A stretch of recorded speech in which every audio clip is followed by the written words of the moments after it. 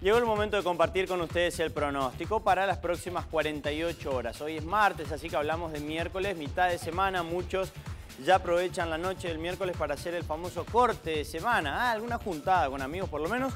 Y hablamos también de jueves, cómo estarán las condiciones. Bueno, eh, a partir de hoy que vamos a tener nubosidad abundante en la provincia, no vamos a dejarla, no vamos a eh, dejar esa nubosidad para tener un miércoles con cielo cubierto, en toda la provincia con temperaturas sin grandes cambios, 9 de mínima, 19 de temperatura máxima.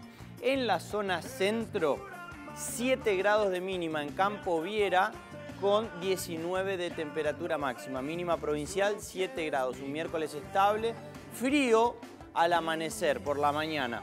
La máxima provincial con 25 grados va a estar en Andresito. En el norte, Iguazú, El Dorado, Andresito, allí van a estar las temperaturas máximas las próximas 48 horas con 11 grados de temperatura mínima. Ahora bien, pasamos del miércoles estable pero frío a un jueves donde un sistema de baja presión va a generar chances de precipitaciones en la provincia. Atención porque hasta ayer el pronóstico era que el norte tenía chances de lluvias.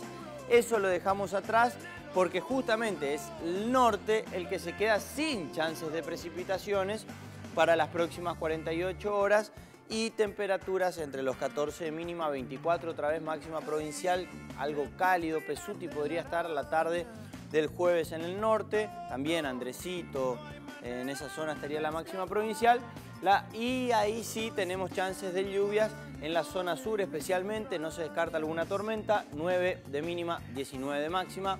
La mínima otra vez en la zona centro con 7 grados y 19 de máxima. También chances de chaparrones el jueves en la zona centro provincial.